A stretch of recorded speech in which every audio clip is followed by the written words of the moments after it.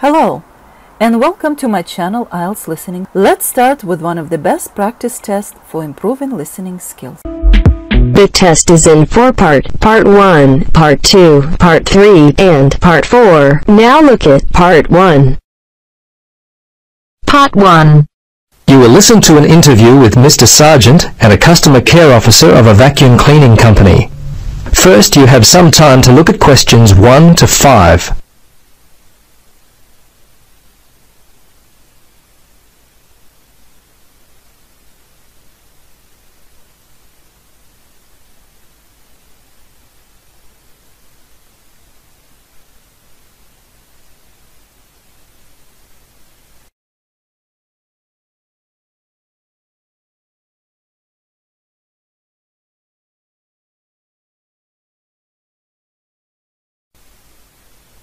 Now, listen carefully and answer questions 1 to 5. Hello. Yes, hello. It's Tom Burlinson calling from Clean It Vacuum Cleaners. Mr. Sargent, is it? Yes. I understand you recently purchased a vacuum from us. Is that correct? Yes, that's right. Well, this is simply a call to find out if you've been happy with your purchase. Our company prides itself on its after-sales service. Just because you bought from us doesn't mean you're no longer important to us. Could you spare a few moments to answer some questions? Sure. How long will this take? Well, not long at all, Mr. Sergeant. Usually only about three or four minutes. Okay. What would you like to know? Okay, great. I'll just go through the survey form and uh, if you'll just bear with me, this shouldn't take long at all. Uh, okay, first question. Which model did you purchase and when? Yes, it was the super cleaner. We bought it about two weeks ago. Uh, see, it was a Monday, I think, because my wife's birthday was on the Sunday, 24th. Uh, that would make it the 25th. Yes, August the 25th. Now, do you remember the name of the salesperson? Was he worth remembering? Yes, his name was Jim. My wife and I were very impressed with him. He was a great source of information, very helpful. Great. I'll make sure that your kind words about Jim are passed on to him. Okay, now let's see. Ah, yes. Have you purchased any other products from us this year? Oh, let's see. Uh, of course, we bought the super cleaner. I think that's all. Well, we bought some vacuum bags with it as well. Um, uh, I think Daisy bought some carpet cleaner from your store back in February. That's about all, I think. I have to ask my wife about that one. She's not here at the moment. No, no, that's okay. Your answer will do fine. We don't have to be too picky. Okay, so how much money would you say you've spent all told in the store? Just an approximate amount will do fine. Wow, that's a difficult question. Uh, I don't really know. The the vacuum was 150 pounds. The other stuff, I'd say around 15 pounds. I suppose the total was around 165 pounds. But I couldn't be totally sure. It may be a bit more than that. That's fine. That's fine. Now, the next thing on my list is how would you rate the quality of the products you purchased? Good, actually, very good. So far, we've not had any problems with the products from Clean It. Service and value have been very good. So I guess you have a loyal customer. Oh, wonderful. I'm really pleased that your experience with our company has been a positive one. Tell me, do you purchase any other items of cleaning equipment? If so, from whom? I'm very fussy about the interior of my car, you know. The seats and carpets, I found a product from Easy Clean which works well on the carpets and an air freshener from Mr. Tidy that really smells good. Apart from that, oh, I couldn't say for sure. I think my wife buys floor cleaner from Johnson Brothers. Before you listen to the rest of the conversation, you have some time to look at questions 6 to 10.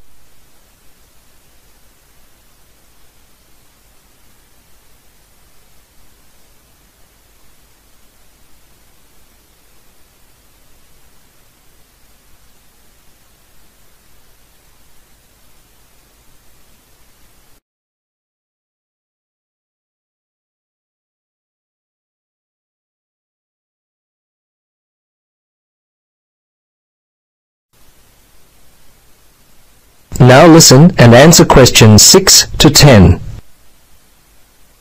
Well, we've just introduced a new line of car fresheners. You might like to stop by. We'll offer you a 20% discount. Okay, we're almost to the end of the questions. Now, I know you were happy with Jim, But overall, how would you rate the quality of our service? Fine, I thought it was good. The lady in accounts was a little unfriendly, but overall I would say the service was quite good actually. Jim made all the difference, and you certainly seem to be a very nice person. Oh, thanks, Mr. Sergeant. Please, uh, Tom, call me Terry. Oh, okay, Terry. Very good. Second last question.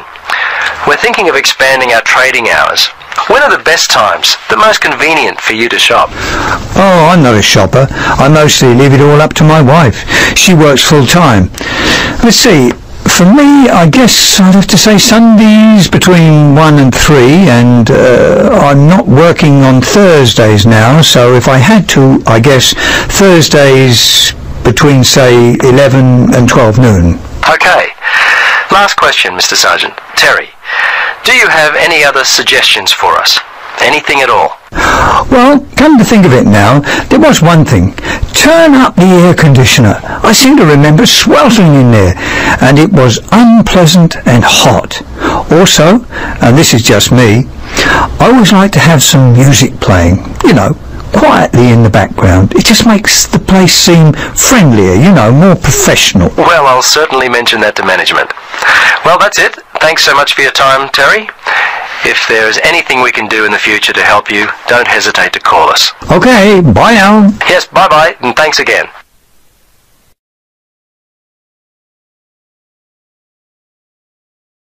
That is the end of part 1. You now have half a minute to check your answers.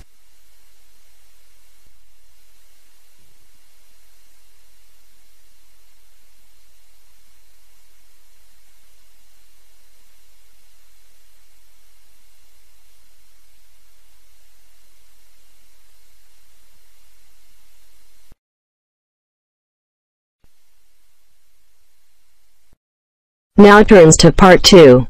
Part 2. You are going to hear a talk about Bell College. First, you have some time to look at questions 11 to 17.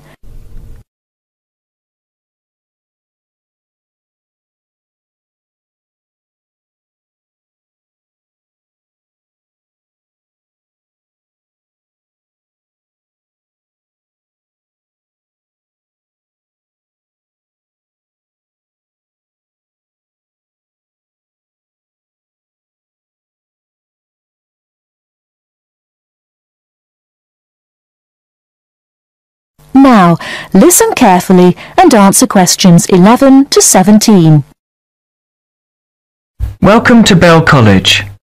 The aims of the college is to foster the growth of international understanding through the provision of a high standard educational course. Second, the college is based in a residential setting for adult students from abroad.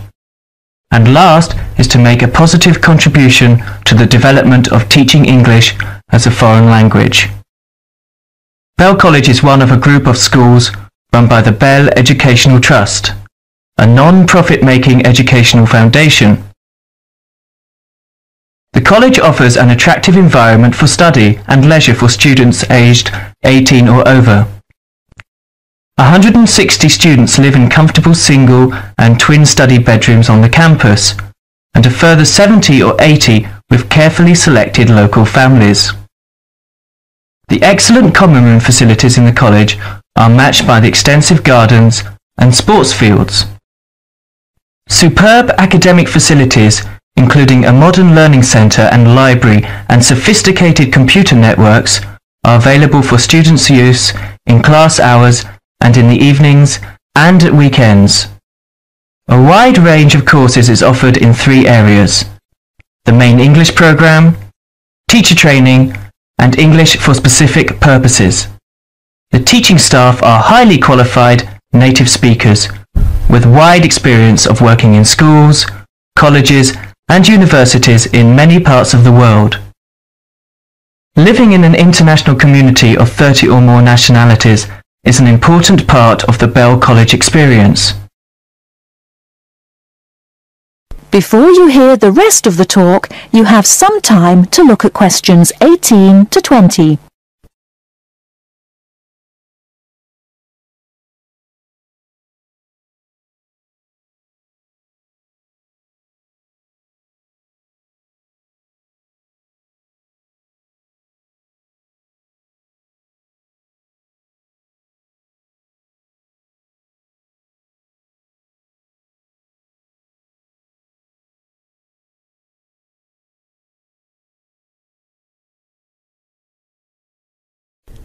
Now listen and answer questions 18 to 20. The main English program, teacher training, and English for specific purposes.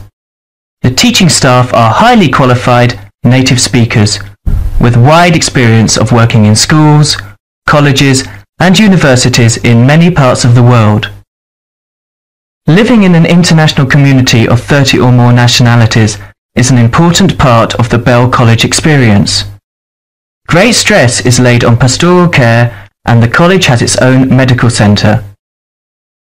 A busy and interesting programme of sporting, cultural and social activities is provided in the evenings and at weekends with excursions to many parts of Britain.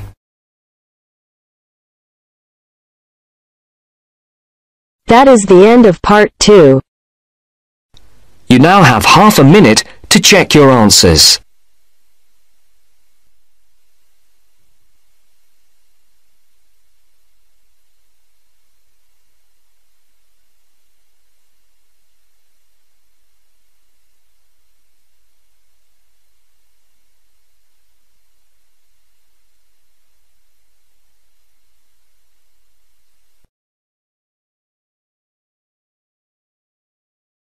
Now turns to part 3. Part 3. You will hear some students talking about an arts assignment. First, you have some time to look at questions 21 to 25.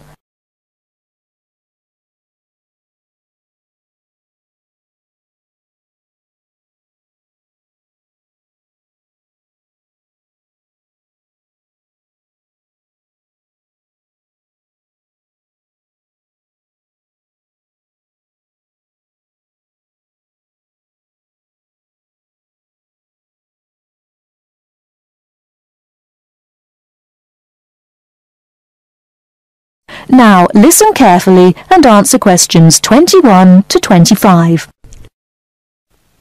What have you been working on, Arthur? I've been looking into the funding of the arts by the Arts Association.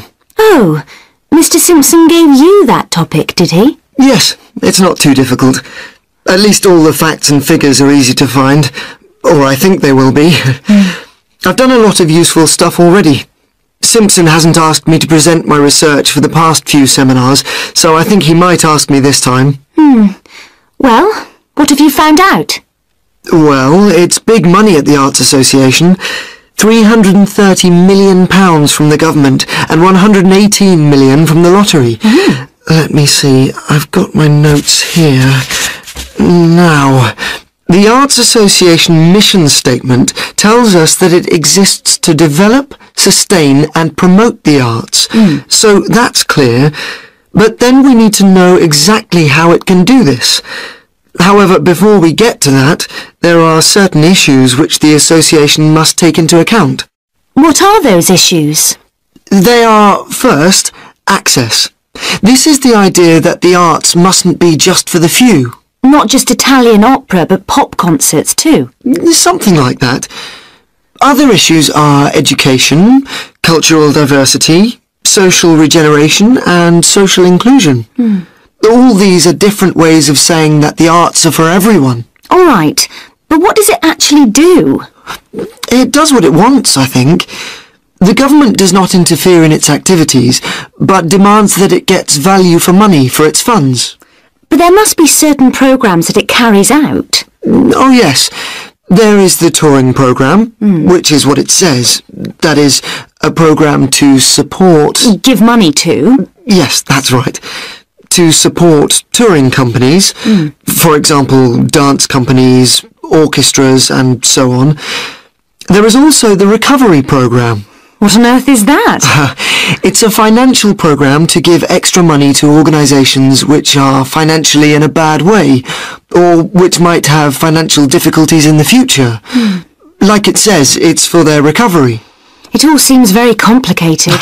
It is. Before you hear the rest of the talk, you have some time to look at questions 26 to 30.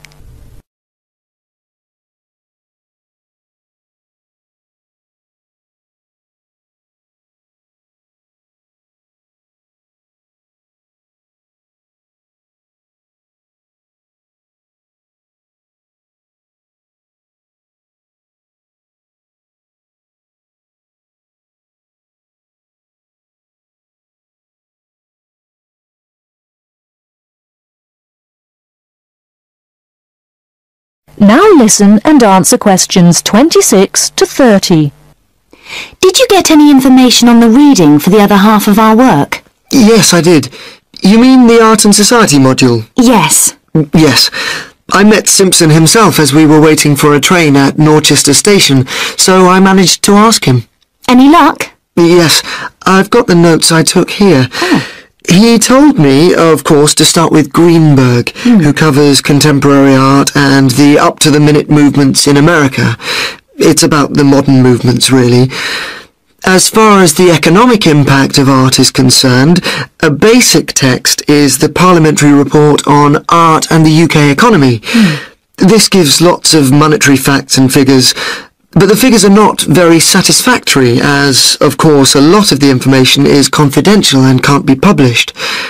Art Now, Art Wow by someone called Denison sounds exciting, and is about how art and artists are created, presented for buyers, and sold in the US. It's about the whole trade in art as a phenomenon. Like a product? Like washing powder? Mm, yes, that's the idea of the book anyway. Hmm. And there's another one here. Oh yes, by someone called Hampton. It's a book called American Art, which Simpson says is full of discussion on the relationship of art to the other aspects of culture, such as film, television, books and so on. Popular culture, I suppose. Mm, Not just popular. Culture of all sorts, I imagine. Finally, for the spiritual and more abstract aspects of art, he recommends Art and the Mind of Modern Man by Frick. Hmm. It's sort of about how art relates to how we think. He did have lots of other recommendations, but luckily his train arrived before he could move on to them. These seem enough to me. yes, they're a good place to start. We will be busy. That is the end of part 3. You now have half a minute to check your answers.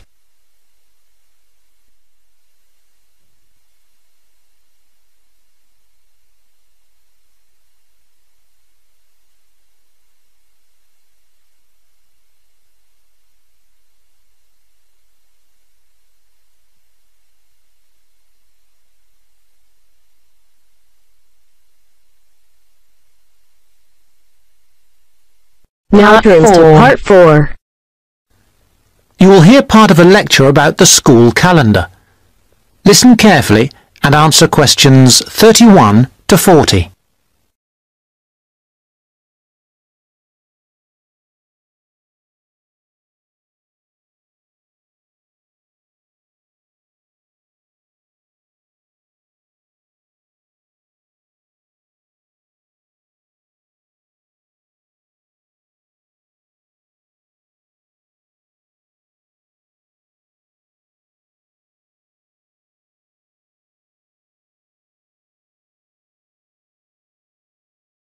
Now listen carefully and answer questions 31 to 40. So, having seen that the six-term system has passed the test of cost-effectiveness, we can move on to the educational aspects of this arrangement. Firstly, all the terms would be approximately the same length. Instead of terms up to 13 weeks, which we have now, there could be a repeating pattern of seven weeks of term time plus two weeks of vacation. This would be repeated six times per year. How does this affect the effectiveness of the educational provision? The most noticeable result would be that the very long summer holiday would be reduced in length. This byproduct of the six-term system could be beneficial. There's plenty of evidence of huge learning loss by pupils during the summer holidays. By learning loss, we mean the amount that pupils forget or lose during a holiday break. Ashley carried out a number of analyses which showed this conclusively. He investigated 39 studies examining the effects of summer holidays on standardized test scores. His analyses indicated that summer learning loss equaled two weeks to seven weeks of instruction. On average, children's test scores were three weeks lower than when they left school in the previous term. He also found differences in the learning loss effect according to subject. The subjects he analysed were reading, writing and maths. and he found that the effect was greatest in maths and reading. Furthermore, although all social groups experienced roughly similar learning loss in the field of maths, the studies found that disadvantaged children showed even greater losses in reading skills. So, the problem of learning loss in traditional schools is clear. However, the results of studies into the six-term system and learning loss are ambiguous. Marchmont found that pupils in six-term schools maintained their test scores after the shorter holiday period. This is certainly an improvement on the traditional system where, as we have seen, pupils perform worse after the summer break. Benson, however, found no differences between those in traditional schools and on the six-term schedule. It would seem reasonable that if long holidays result in learning loss, then shorter holidays should result in less learning loss. So, we await the outcome of further studies. Historically, of course, everyone knows the reason for our system of three terms per year. In days when agriculture was of much greater importance in our working lives, it was essential that the children helped with the harvest. Later on this changed, and more people moved into the towns.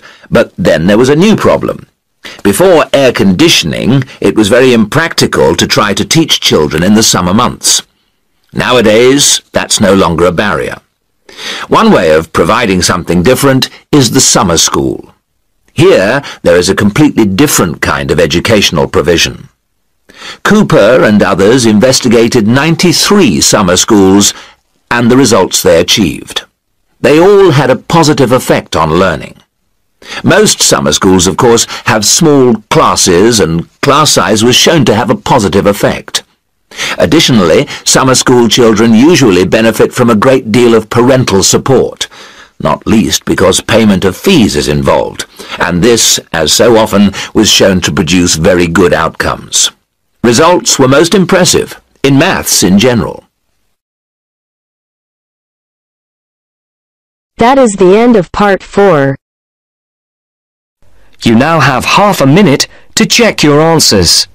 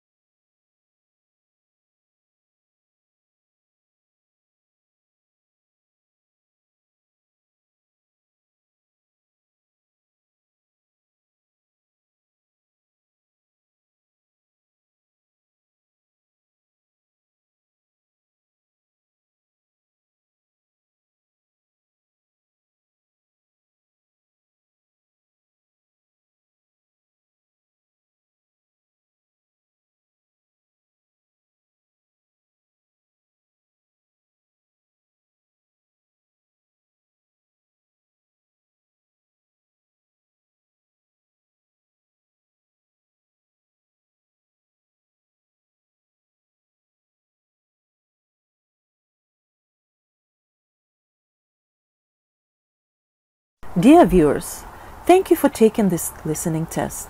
Please let me know about your score in the comments section below. Keep on practicing, it's the only way to be successful. We are planning to upload more IELTS helpful videos. Please subscribe to our channel, IELTS Listening. Thank you.